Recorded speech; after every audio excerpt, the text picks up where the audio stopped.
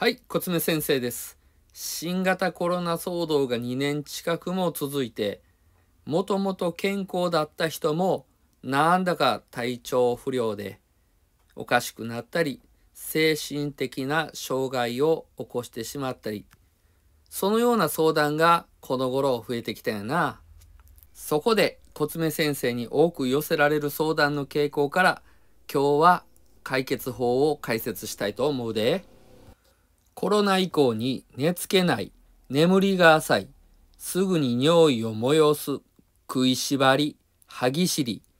頭がふらつく、めまい、手の震え、顔の引きつり、顔のかゆみ、イライラ、気分が落ち着かない。これらの症状を引き起こしている原因は焦燥感です。焦燥感っていうのはどういう状態かいうことを少し解説するわな。まず、えー、一文字目の焦げる、焦る、焦がれるという意味の文字やな。火で炙って焦げるというところから火で炙られるように心がイライラして焦げるという意味合いに捉えるんやな。次、そう。これは乾燥の層で、えー、乾く、苛立つという意味があるんやで。火を焚いて物を乾かすことから火で炙られて乾くように心がイライラと募るという意味なんやな。この2つが重なって相当イラつく状態が起こっていると言えるな。この変わりゆく社会の中でね置いてきぼりにならないようにみんな早くしなければと追い立てられるようなね焦るような、えー、イライラする気持ちをみんな持っているんやろな。この焦燥感を持ったまま長期間生活しているとねある臓器に大きなダメージを与えるようになるんやで。その臓器いうのは肝臓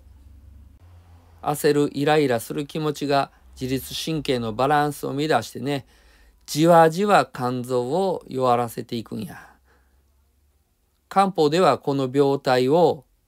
肝うつ下風というふうに呼んでるんやで。肝うつ下風呼んで字のごとく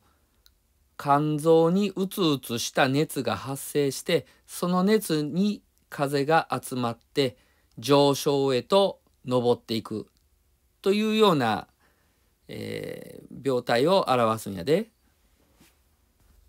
え何？肝臓に熱持って？そこに風が吹いてきて？それが上昇に上るって？えほんまかいな？と思った人もいらっしゃると思うけどまあ風が起こるシステムっていうのを少し次の実験で見てもらいたいと思うで。じゃあちょっと見てな。自動販売機で買ってきたホットの缶コーヒーそこに針を刺してえー、上に、えー、風車を乗せたんやけどこれどう？こう一切風が吹いてない状態で風車がくるくるくるくる回り出してるやろ？これはまあ缶コーヒーの外側が熱を持ってるんやけど外気温と温度差ができるやろ？この温度差によって風が発生して風はまあ下から上に吹き上げられるものやから下から上に、えー、上昇気流となって、えー、風車をくるくる回すという風なシステムになってる。これと同じ状況が肝臓に熱を持って、えー、首頭部に症状を起こさせてるっていうことと全く同じやね。最後にねこれを回避するためにはどうしたらいいかいうことを少しお話しするわね。えー、肝の熱を発散させるためには友人とのおしゃべりとかカラオケとかウォーキングなどをこう定期的に行うようにして、まあ、できるだけ発散に努めましょうということ。次にわずかなストレスでも影響が受けないように肝が弱くならないように、えー、注意しなければいけないやな。えー、どうすればいいかというと目を酷使しないということと根を詰めて作業を行わないということ。寝る前のスマホには特に要注意やな。食べるもんでもよくしていくことができるで、えー、梅しそがおすすめやな、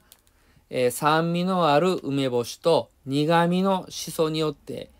肝臓に血を集め肝の熱を、えー、発散させていくということをしてくれますので毎日1日1個は取るようにしてくださいね。漢方薬では肝の扇風機と言われる霊陽角と、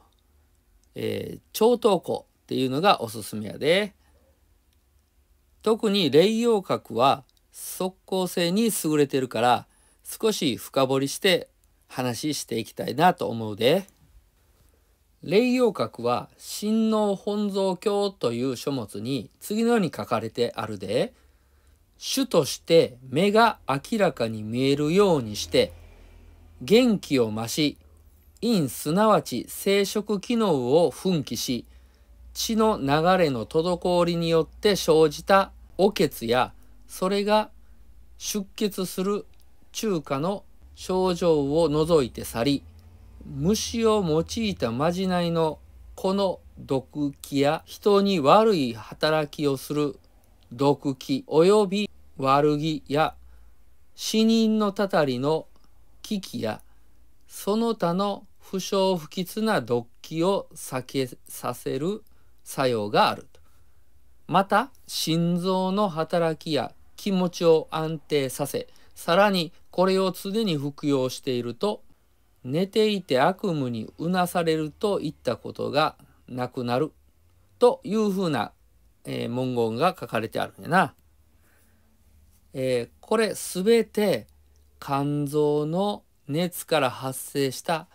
風邪が原因で起こる症状やな。えー、最初の方に挙げたいくつかの症状が思い当たる人はこの霊養角を一度服用し是非コロナに打ち勝っていただきたいと思うで最後にコツメ先生がみんなにエールを送ります。ファイト最後までご覧いただきありがとうございます。コツメチャンネルでは定期的に動画をアップし、毎週他では聞けないオリジナルの情報をお届けいたします。ぜひチャンネル登録をお願いします。それではあなたの元気をコツメ先生は応援しています。今日も元気に、明日も健やかに。ありがとうございました。